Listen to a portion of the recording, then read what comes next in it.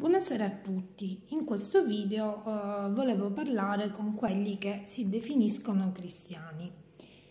In poche parole dicono di credere in Gesù, ma in realtà non credono in Gesù, credono in un dio pagano, Mitra, quel dio pagano che è stato introdotto nel culto dall'imperatore Costantino, che di fatto era un pagano e adoratore del sole, e trasformò il cristianesimo in un sincretismo pagano.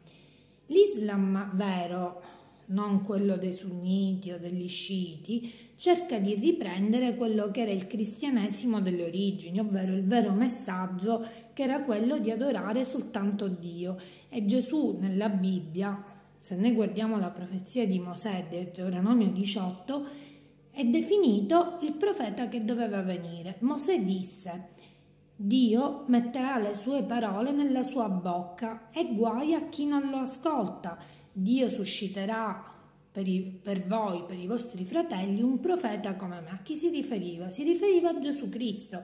Perché Gesù Cristo nel Vangelo dice se, se credeste in Mosè lo ascoltereste? Perché egli aveva scritto di me. Quindi Gesù dice di essere il profeta profetizzato da, da Mosè in Deuteronomio 18. Questo è quello che dice la Bibbia ma i cosiddetti cristiani non gli basta la verità, ovvero che Gesù è il primo angelo di Dio. L'Apostolo Paolo lo chiama angelo del Signore, non lo chiama Dio, lo chiama angelo, il profeta che doveva venire. Quindi questo dice la Bibbia. Il Corano, quando Gesù dice in Sura 19, Versetto 30, in un discorso pronunciato secondo il Corano e secondo alcuni Vangeli apocrifi riconosciuti dalle chiese orientali, in un discorso pronunciato da Gesù nella culla per volere di Dio, quindi un miracolo, dice mi ha benedetto ma Gesù disse, in verità sono un servo di Dio, mi ha dato la scrittura e ha fatto di me un profeta, ma era il profeta che doveva venire, non un profeta qualunque, il più grande dei profeti.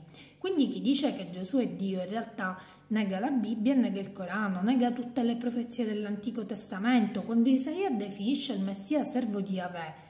Questa dicitura è ripresa nel Corano, non è che è un insulto al Messia, in realtà il Messia dal cielo, perché il Corano dice che Dio lo ha preso e l'ha elevato in cielo, l'ha elevato fino a sé e noi sappiamo che Gesù, secondo il cristianesimo, nel cristianesimo è morto, risorto ed è asceso in cielo, Gesù piange per questi miscredenti, perché miscredenza?